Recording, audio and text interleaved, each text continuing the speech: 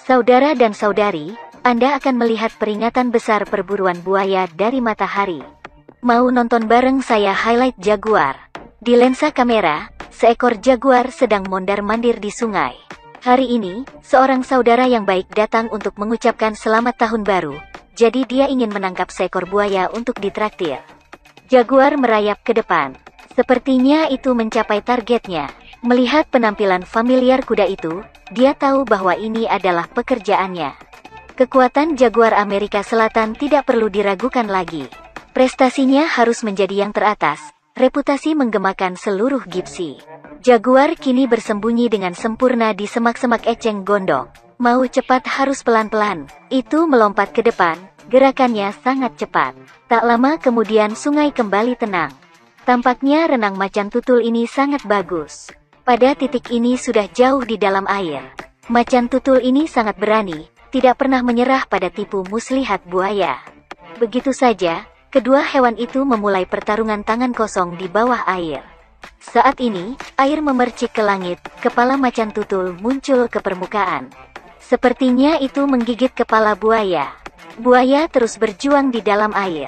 Dia tidak mengerti kenapa tiba-tiba dia ada di rumah, tidur nyenyak dan ditarik oleh macan tutul ini. Leluhur menyuruh buaya untuk menyelamatkan diri di dalam air. Dan macan tutul bertekad untuk makan barbeque hari ini, bertekad untuk tidak melepaskan buaya. Macan tutul ingin menggunakan serangan cepat untuk menang dengan cepat. Itu menggigit leher buaya untuk menariknya ke darat.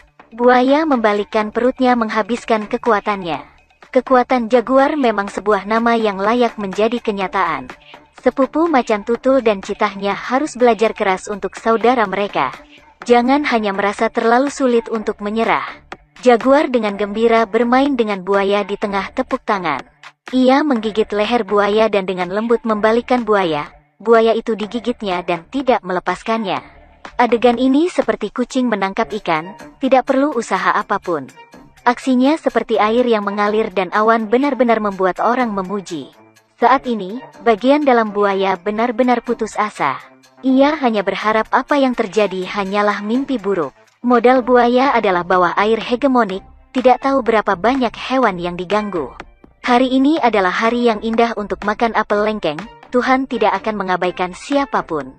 Buaya hanya perlu berjuang sedikit dan jaguar akan menggigit lebih keras.